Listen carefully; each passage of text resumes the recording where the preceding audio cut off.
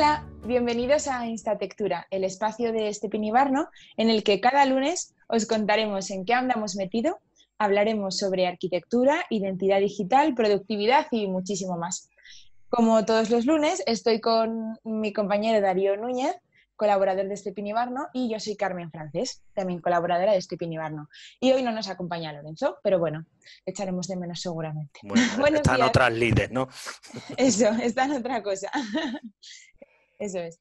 Bueno, Darío, pues nada, cuéntanos, porque esta semana viene bastante, bastante movidita. Esta semana viene movidita y, nada, tenemos dos debates. Voy a hablar del primero, que es el martes a las 7. Es el debate de mm, que, lo hacemos en conjunto con MAPEI de planificar el futuro de la arquitectura. Y un poco antes de entrar en vereda con el tema del debate, vamos a un poco hablar de los premios MAPEI que es un poco el fundamento un poco de este debate, ¿no? Eh, el premio MAPEI a la arquitectura sostenible es un concurso nacional de arquitectura dirigido a aquellos profesionales que impulsan proyectos sostenibles que combinen una alta calidad arquitectónica con un mínimo impacto en el medio ambiente. ¿Vale? Esta es la cuarta edición, o sea que ya tiene un, un bagaje, ¿no? Y tiene 15.000 euros de premio. Y en esta primera fase, que dura hasta el, hasta el día 15, eh, solo, tienes que poner, solo tienes que hacer una pequeña descripción del proyecto. O sea, que te puedes apuntar tranquilamente, que no hay que ahora poner nada sesudo. y, hay que, y las bases y todo eso lo podéis consultar en www.premiosmapei.es. ¿Vale? Perfecto. Entonces tenemos ahí hasta el día 15 para inscribirse, ¿no? Exactamente.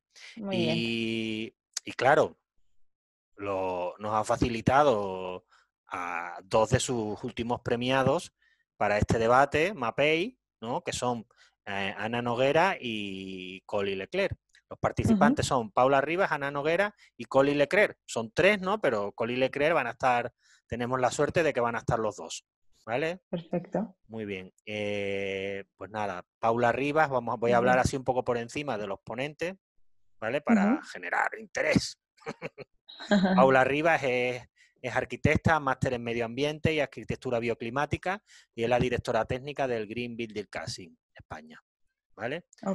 Que son patrocinadores del premio y especialistas en arquitectura sostenible, ¿no? Porque la gracia de los premios MAPEI, ¿no? Es sobre la arquitectura sostenible, ¿no? Ana Noguera, como decíamos, que es la ganadora del año 2019, ellos se definen así, lo voy a leer porque me parece muy interesante un poco su filosofía, ¿no? Eh, prestan una atenta mirada al contexto y paisaje, la vuelta a los materiales y técnicas tradicionales, desde una visión contemporánea, y la sostenibilidad e innovación tecnológica entendidas como partes intrínsecas del propio proyecto. ¿Vale? Un poco ahí una mezcla de todo y, muy interesante, ¿no? que ellos se fundan en 1992, han recibido también infinidad de premios y el último, de hecho, hace muy poquito, bueno, muy poquito antes del confinamiento, ¿no? En febrero de 2020 han, recibido el premio Ciudad de Barcelona, Ciudad de Barcelona, ¿vale? Coli Leclerc, lo dicho, que son los ganadores del premio en 2018. Eh, ambos son profesores que combinan la agenda académica con profesional, con la investigación sobre nuevos paisajes urbanos, nuevas respuestas para el espacio público contemporáneo, cruzando arquitectura, paisaje e infraestructura en la ciudad. Eh, casi exclusivamente operan de concursos públicos, de promoción pública, ¿no? Y están muy comprometidos con los nuevos desarrollos sociales, ¿vale? El estudio, en este caso, nace en 1996, o sea que también tienen un, amplio, un amplio expediente, ¿no? Y su obra se, se, se exponen bienales internacionales, reciben también muchos premios, son jurados de Europam. Bueno, os invito a que consultéis la web de ambos arquitectos que veréis lo dilatado de sus carreras. pues entonces va a ser un debate súper interesante que moderas tú, ¿verdad, Darío? Modero yo y trataremos un poco, pues, el, el futuro de la arquitectura entendido en el espacio público, eh, las viviendas que hay que hacer, que ahora tenemos que ponernos como locos a construir nuevas viviendas o lo que hay que hacer es arreglar las que tenemos, rehabilitaciones energéticas, no sé, un poco por ahí, la filosofía de la vivienda pública, etcétera, etcétera. Muy interesante. Entonces, para apuntarse, eh, hay que meterse en nuestra página web eh, y veréis la información sobre el debate. Hay que mandar un mail a, cursos arroba si no recuerdo mal. Lo puedo mirar ahora mismo. Vale. A ver. Tengo abierto el otro. ya. A ver. Es que no sé si han puesto ya el, formulario de inscripción. No, eso, he dicho bien, he dicho bien el. Ah, vale. El mail. Cursos ¿vale? Mandando un mail a cursos, en plural, cursos arroba estepienibarno.es y os mandarán el enlace para conectaros en el Zoom. Eso es. Muy bien. Vale, pues nada, eh, después del martes, después del super debate sobre planificar el futuro de la arquitectura, nos hemos animado con otro debate sobre de arquitectura y, como ya sabéis, hemos hecho, disculpa, hemos hecho ya el debate de arquitectura e infancia eh, que fue el primero. La semana pasada, bueno, hace poquito hicimos el de arquitectura y blogs, que fue un debate súper chulo, la verdad también. Y en este caso nos hemos animado con una tercera temática totalmente distinta, pero a la vez con un montón de puntos en común, que son la arquitectura, que es arquitectura y danza. Y Darío, cuéntanos un poco cómo, cómo surgió la idea de este pues debate. Un poco surgió, os acordáis que la semana pasada hablábamos y sacábamos el arquicafé con arquilecturas. Eh, entonces, al hablar con Sonia Rayos, una de las componentes, que había estudiado también danza, pues ya se me cruzó un cablecito. Digo, mira, nos podemos juntar aquí a unos pocos.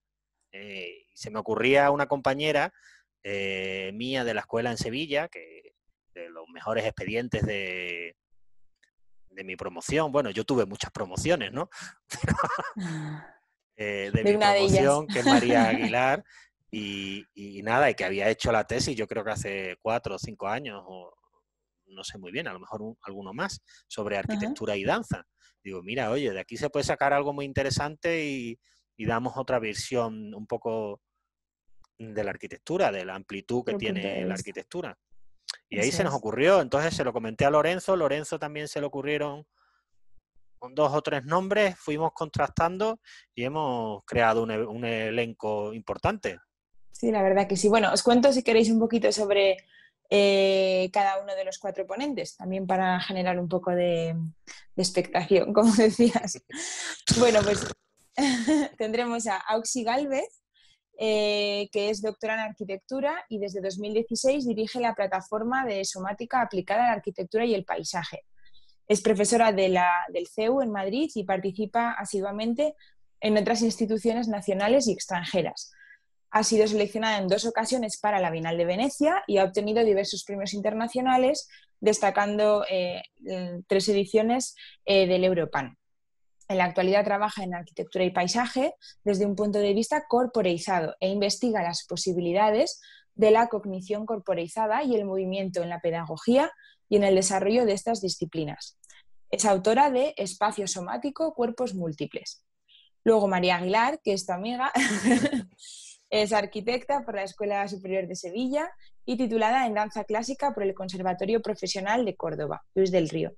En 2015 alcanza el título de doctora con la tesis de El espacio sin fin, una mirada a través del cuerpo. Traslaciones entre danza y arquitectura, y actualmente es profesora ayudante doctora en el Departamento de Ingeniería del Diseño de la Universidad de Sevilla. Ah, tenemos también a Sonia Rayos, que fue la, génesis del... Os invitamos que veáis el Arquicafé. el Arquicafé es de Sonia y, y Silvana. Eh, bueno, ella es arquitecta especialidad en edificación por la, por la UPV, por la Politécnica de Valencia, y graduada como ingeniera en la edificación también en la UPV. Estudió la carrera superior de danza clásica y contemporánea en el Conservatorio de, Música y Danza de Alicante y por la Royal Academy de Londres. Y ha trabajado como profesora de ballet clásico y contemporáneo con niños, además de eh, su desarrollo, el desarrollo de de su trabajo como arquitecta junto a Ramón Esteve, entre otros, eh, funda su propio estudio eh, que se llama Tama Estudio. y desde entonces compagina su trabajo como arquitecta realizando proyectos de edificación y urbanismo para la administración y particulares, con la docencia para universitarios y la cooperación internacional eh, presencial en India y Nepal. Y por último tenemos a Jaume Blancafort, que em, dirige el estudio Blancafort Reus Arquitectura junto a Patricia Reus y su producción arquitectónica ha recibido reconocimientos a nivel nacional e internacional como los ARD Awards, los premios FAD, los premios AJAC, el Premio de Arquitectura Española o en las Bienales de Arquitectura de Venecia, de Buenos Aires o en la Española. Es arquitecto por la ECHAP, doctor por la Universidad de Alicante y profesor de proyectos de la ETSAE Cartagena y UPCT. Sus principales líneas de investigación son el hábitat doméstico, la arquitectura efímera, la creación colectiva y la participación ciudadana. Y dirigió la compañía escénica Synapsi Lab, Performing Arts Factory, con Kiko León y Sebastián Gómez, y ha publicado algunos escritos sobre las relaciones entre danza, arquitectura y ciudad.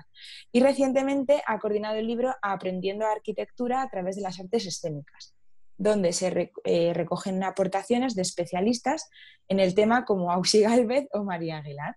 Precisamente. Y, precisamente. Y bueno, pues el debate lo moderaré yo, que bailo un poco. Así que, pero muy poco. Ahora menos. Y, y nada, y va a ser también súper interesante. Para participar hay que inscribirse antes del jueves, bueno, es el jueves a las 7 de la tarde para inscribirse, pues eh, buscad en nuestra web Debate Arquitectura y Danza y os, eh, ahí tendréis el, formulario de inscripción. Va a ser también, yo creo que una tarde muy, muy interesante, muy inspiradora, ¿no? Buena idea. Hay una tarde después del paseo con los niños a las 7, estupendo, te pones tu ordenador, te pones una cervecita y a ver los debates. Y a participar, claro, porque a través del chat en ambos, en ambos debates se pueden participar y los moderadores leeremos las preguntas que, propongáis. Eso es. Y claro, el debate al final va a ser mucho más rico si, participáis y nos, nos contáis vuestra experiencia o vuestro punto de vista en los temas que se hablen o vuestras preguntas a los ponentes. Sí, sale más espontáneo también, que, si no tan reglado, pues ya es. demasiado académico. bueno, y hablando de espontáneo, el otro día estabas ahí con el corto que se estrenaba, se estrenó la semana pasada el segundo corto de Este Ibarno, eh, protagonizado por nuestros maravillosísimos Ushua Don Blas y Darío Núñez. y bueno, cuéntanos un poquito.